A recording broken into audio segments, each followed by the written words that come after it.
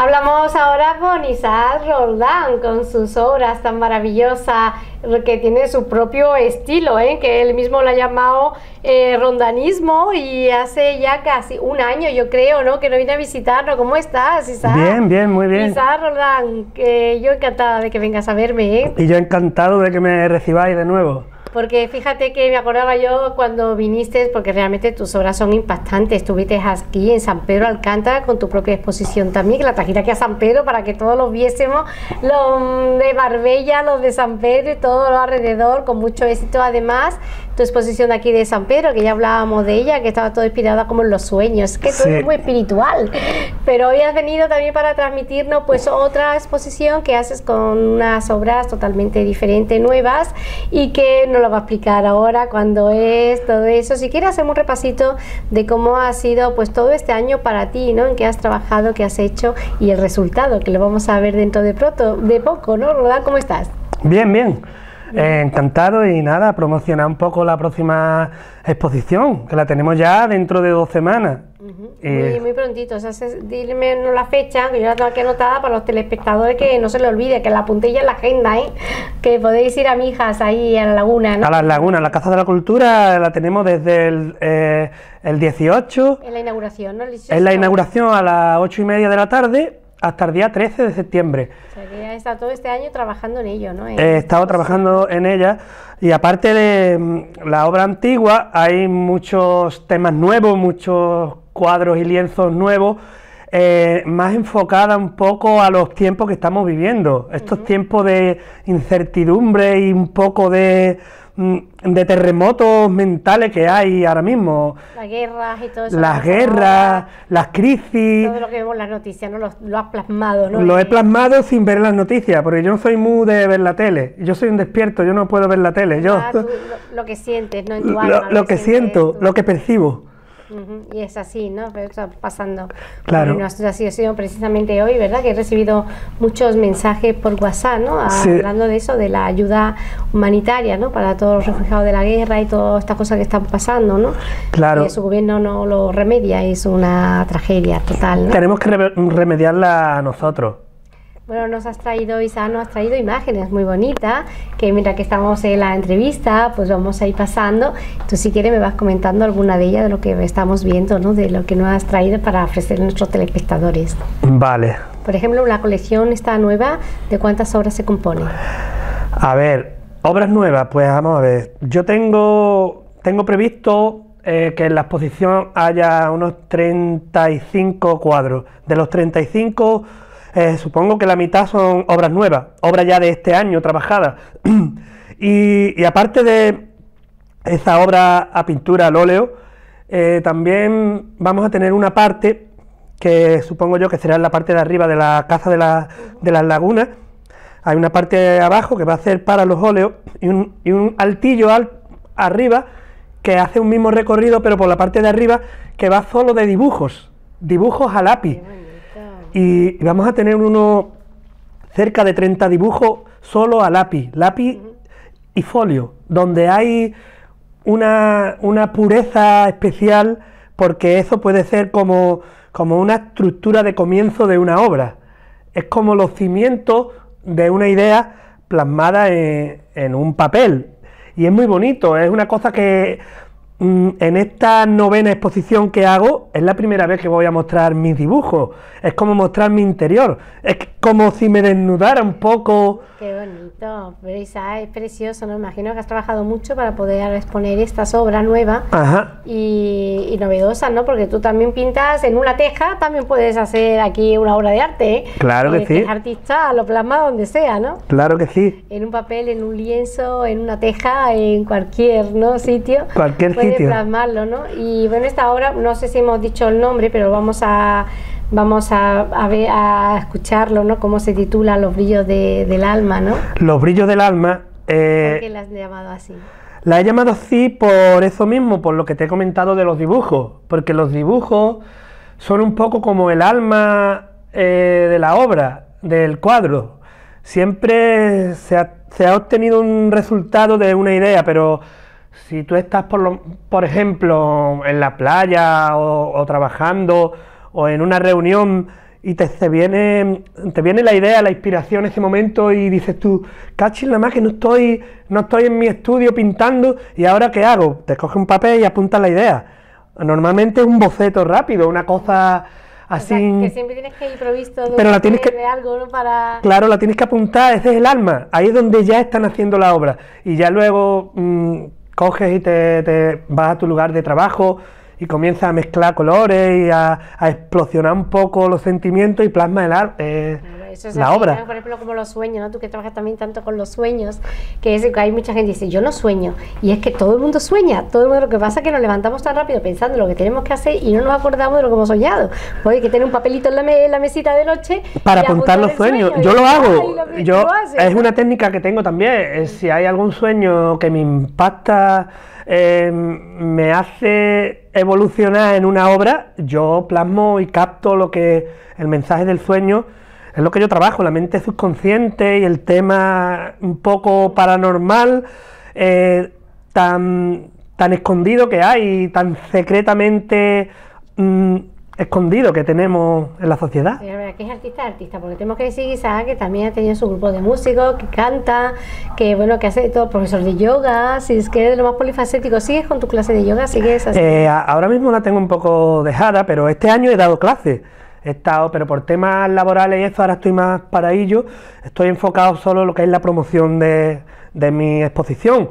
Pero sí, he dado clases además es muy necesario para mí no abandonar el yoga. Yo hago yoga todas las mañanas, o por lo menos casi todas las mañanas.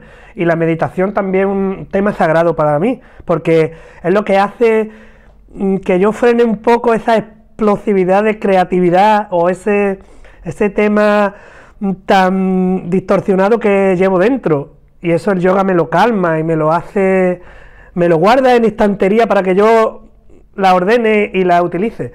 Qué bonito. Bueno, la verdad es que sí es muy necesario cuerpo y mente, ¿verdad? Tenerlo todo en equilibrio, ¿no? El equilibrio. En un momento así, ¿no? De- del mundo del artista, ¿no? Que es tan amplio, ¿no? Tan Y- amplio, sí, y sí. En tu caso más aún, ¿no? Y de estos, todos estos cuadros que estamos viendo, Isaac, cuéntanos, ¿alguno de ellos para ti tiene una importancia más revelante que otros? Para ti, eh, más simbólico. Cuéntanos eh, nos lo defines también. A ver, voy a contar un poco sobre la marcha de lo que se va a ver en los brillos del alma. Los brillos del alma es como una terapia que yo regalo a la gente, a, todo el que venga a visitar, que esté un poco harto de, de, de ese mundo zombie en el que vivimos muchas veces encadenados a mm, voy con prisa, que no llego, llego tarde, o no me han pagado, no llego a fin de mes. Ese mundo zombie que a veces es como un teatro mental que tenemos grabado, pues yo en mi exposición lo que quiero es transmitir un, un poco de calma, un poco de Libera todo eso. liberar, un poco de escapar de esa sociedad que, que tenemos en un sistema mm, zombie que va rodando a través de una idea de un... Yo quiero decirte, observa mi cuadro y déjate empapar terapéuticamente de los colores, de la cromoterapia y de, de ese masaje en el alma que, que transmiten mis pinturas. Y es lo que yo quiero...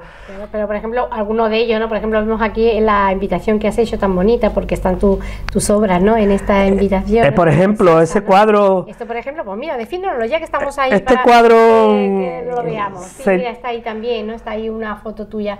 Eh, quiero comentar tu foto, esta tan bonita, esa. Vamos a verla también. Mira, ¿qué te parece? Esa foto eh, la ha hecho un, un gran amigo mío, un fotógrafo en colaboración conmigo. Es muy mística, da un poco de miedo, un poco de... transmite un Pero, por poco de... ejemplo, Aquí vemos que es un santo, es un Buda. Que Eh, claro, el Buda siempre, Está contigo. ¿no? siempre Ahí, está ¿no? conmigo y, y la buena transmisión, la Le buena... preguntaba yo a Isa, digo, Isa, esto has hecho Photoshop para ponerte aquí los colores de la cala, así que se mata. Y dice, no, no, no, yo es que me pinto entero. Yo que pinto yo yo, también, ¿no? cuando yo pinto me, me, me, me mancho, me mancho de alegría, que los colores son alegría. Y está ahí, está ahí en la foto que ha quedado preciosa, ¿no? claro, Mm, Bueno, hablábamos de la exposición, que, A ver. ahí, ¿no? que son los de... Vamos a ver mm, bonitos cuadros y, y cuadros que te transmiten eh, sentimiento, que te transmiten, eh, si tú tienes la capacidad de reflejarte en los lienzos y de, y de absorber los signos místicos que hay, pues es lo que te digo, es un baño terapéutico y tenemos Insomnia, es un cuadro muy llena de, lleno de diablitos, de, botellitas, de la noche marinera, de la noche de la costa. Eh, son cuadros que reflejan la reverdía de la juventud y, ese descanso que, busca ya el personaje más maduro o más mayor, que, siempre lleva su juventud dentro. Va reflejado todo en, ese cuadro, un cuadro muy místico. Después tenemos... la, luna y todo, ¿no? Eh, tenemos la, luna, tenemos ángeles, diablitos, tenemos muchas cosas y mucha magia, mucha magia. Después podemos ver cuadros más eh, bodegones modernos, como yo llamo, como tenemos la zapatilla y el billete, que se pueda apreciar una simple zapatilla y un billete. A ver, cuéntame, porque eso es verdad que me impactó, una zapatilla y un billete. Y un billete. es, a ver, esto... es un cuadro tan simple y tan lleno de carga emocional que simplemente con esos dos detalles ya el cuadro te cuenta, no hace falta explicarlo, solo verlo. Una zapatilla y un billete, o por ejemplo, Tiempos Colocados, que es un cuadro, Tiempos Colocados es un bodegón en el que se ve un reloj, el reloj del tiempo, pero un reloj de arena, y, el cigarro de la risa. Eh, eh, se llama tiempo colocado porque mm, tenemos lo que es el cigarro de la risa, eh, no deja de ser más una cosa necesaria y no necesaria, que puede ser mm, buena o mala en abuso. Simplemente es algo que hay que plasmarlo, que no incita a, a, nada, a nadie ni nada, solo incita a que, a que tú reflexiones un poco. Claro, hemos colocado también puede ser que también un empleo, ¿no? También. Es un empleo que, tú le... Eh, claro. Además son cosas sarcásticas, cosas un poco de cómicas, porque en mi pintura también va un poco la alegría y el y el contar chistes un poco en los lienzos, que tú te rías un poco y que no, que tú digas, mm, no voy a ser tan estricto en, esta sociedad, voy a ser un poco más, mm, más fantasioso, más... también utilizan muchos coloridos, ¿no? Esa, lo, claro, colores, los colores, la cromoterapia, lo que te hace eh, los colores en el alma, eh, en la mente y sobre todo los signos, los signos místicos, la pintura superpuesta que tú puedes ver en un cuadro tres cuadros o puede interpretarlo de tres maneras. depende de la perspectiva y depende... Cada su forma de, pensar, de ser, la personalidad de cada uno pues te lleva ¿no? a, te lleva. pensar una cosa u otra. ¿no? Es lo que yo pretendo, que el, espectador diga, pues me ha, me ha impactado lo que hace este chaval, lo que hace este pintor. Y lo que yo quiero es dejar un, una constancia de que hay algo más, que, todo no es vivir como un fondo, que por desgracia es lo que estamos viviendo ahora. Bueno, qué bonito, Isa. Estamos deseando ya de que sea la exposición para ir a visitarla. Vamos a recordar a nuestros telespectadores dónde está la exposición. Vamos a explicar un poquito, ¿no? Nos lo explica Isa para que todo el que quiera ir está, bueno, a pocos kilómetros, tampoco no hay mucha distancia de Marbella, ¿no? No, no, está, está lo que es la Casa de la Cultura de, de Mijas Costa. Está a ver, es muy fácil llegar, eso ya la gente con los GPS y con los ordenadores. El móvil y te lleva, vamos. Eh, creo que va a estar del 25 eh, días. Eh, a ¿La inauguración a qué hora es? a, la, a las 8 y media de la tarde. Va a haber un pequeño catering, un catering hecho con todo el corazón porque me lo ha, me lo ha subvencionado una empresa que colabora conmigo y va a ser un catering interesante para que la gente pues ansia un poco ese hambre de espiritualidad, con un poco de una copita de cortesía y, vaya conociendo tranquilamente. Para que disfrutar todos los sentidos. Todos los sentidos. La vista. Claro, y además aquel día es interesante que venga la gente a la inauguración porque va a haber más personalidades, va a haber más. Estoy yo, que yo puedo, yo me acerco a todo el mundo. Como tú no estés, Ese día, yo no voy. Claro que sí, y yo puedo explicar a la gente, pues mira, este cuadro, ¿qué es lo que a mí me transmite esto? A mí, y convencer un poco con la gente que viene a verlo, a ver mi obra. Pues verdad, enhorabuena Isa, enhorabuena una vez más. Eh, realmente estás triunfando con tus cuadros porque todo el mundo que lo ve eh, se lleva muy buena impresión de ese rondalismo que has, tú has creado tu propio estilo y que es precioso. Así que eh, intentaré, haré todo lo posible por ir a verte esta vez. Así que ya sabes que es tu casa también y cuando tengas algo que transmitirnos, aquí estaremos siempre para escuchar tu trayectoria, a ver cómo, cómo el artista va evolucionando y va cambiando también esa manera de, de ser, ¿no? Y nos encanta, así que ahí estaremos apoyándote siempre. Muchas gracias por venir, Isa. Gracias a ustedes y encantado. Hasta pronto. Nos Hasta vemos. pronto. Gracias. Hacemos eh, una pausa, vamos a publicidad, eh, enseguida volvemos.